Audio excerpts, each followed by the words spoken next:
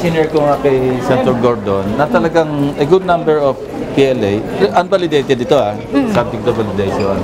And we're talking here of uh, 2,000 to 3,000. Yun ang number na nabanggit.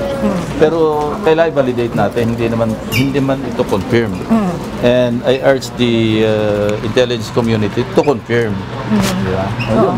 So, pero ano yung presence basically pag may PLA? Hindi ba part of the system na? Hindi, baka nasa immersion mission. Hindi natin alam. For what purpose, hindi pa rin natin alam.